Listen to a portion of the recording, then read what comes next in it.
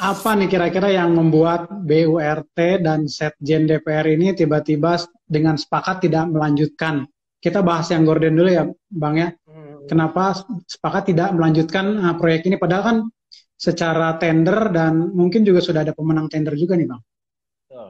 Nah, Ya, saya kira itu yang uh, mengherankan gitu ya, karena tidak ada okay. juga penjelasan gitu saat uh, BURT mengumumkan pembatalan proyek pengadaan gorden itu gitu ya. Okay. Uh, eh, alasan apa yang kemudian membuat mereka begitu mudah untuk membatalkannya padahal kita tahu betul bahwa proses uh, pelaksanaan tendernya itu sudah berjalan bahkan sudah ada pemenang ya. Yeah. Jadi mesti tinggal uh, pekerjaan sekarang. Uh, tapi saya kira sih uh, munculnya begitu banyak informasi terkait okay. uh, proses tender yang uh, terasa janggal gitu ya.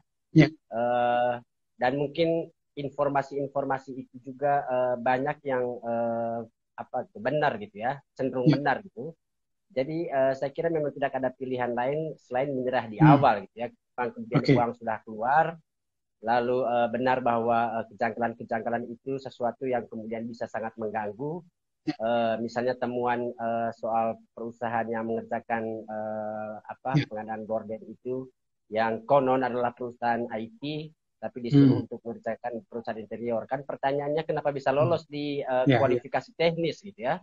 Yeah. Ya. Uh, pasti ada apa-apanya kalau begitu dong. Perusahaan yang tidak uh, qualified diloloskan untuk uh, memenangkan tender ini. Jadi hal-hal uh, itu yang saya kira membuat uh, Sekjen dan BURT uh, apa gitu ya menyerah gitu dengan keputusan yeah. mereka.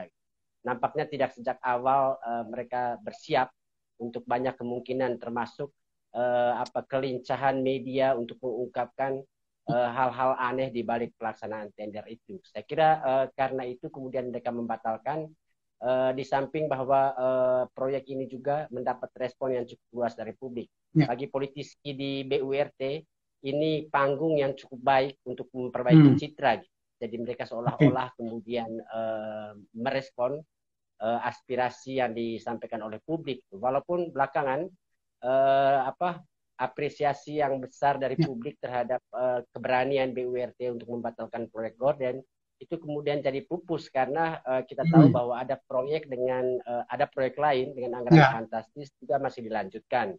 Yang kedua, anggota BURT sendiri satu hari setelah mereka mengumumkan pembatalan proyek Gordon justru ya. langsung uh, beranjang sana ke Turki sana gitu ya. Jadi hmm. kesannya bahwa mereka memberikan hadiah kepada rakyat gitu dengan membatalkan proyek Gordon gitu ya.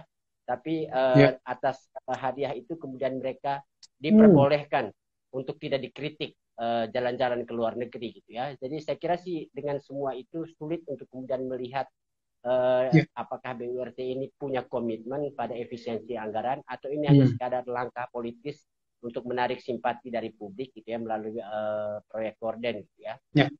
Gitu. Medcom.id, a part of Media Group Network.